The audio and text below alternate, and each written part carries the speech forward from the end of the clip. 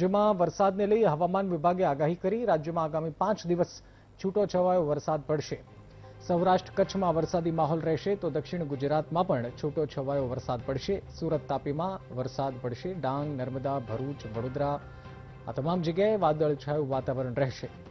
તો દાહોદ, પંચમહાલ, ખેડા, અમદાવાદમાં વરસાદની સંભાવના છે. ભાવનગર, અમરેલી, ગીર સોમનાથ, જૂનાગઢ, રાજકોટમાં પણ વરસાદ થશે.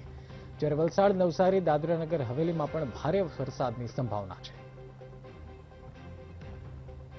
अगले पाँच दिन में गुजरात रीजन में सौराष्ट्र कच्छ में आइसोलेटेड रेनफॉल एक्टिविटी रहेगा मोस्टली साउथ गुजरात रीजन देखा जाए तो स्कैटर्ड रेनफॉल होने का संभावना है जैसे अ, वलसाड नवसारी सूरत अ, तापी डांग न- नर्मदा भरूच अ, वडोदरा में कुछ कुछ जगहों में लाइट टू मॉडरेट रेन होने का संभावना है थंडरस्टॉर्म लाइटनिंग भी होने का संभावना है। गुजरात रीजन में जैसे दाहोद पंचमहाल खेड़ा महिसागर अहमदाबाद में भी बारिश होने का थंडरस्टॉर्म एक्टिविटी भी होने का संभावना है।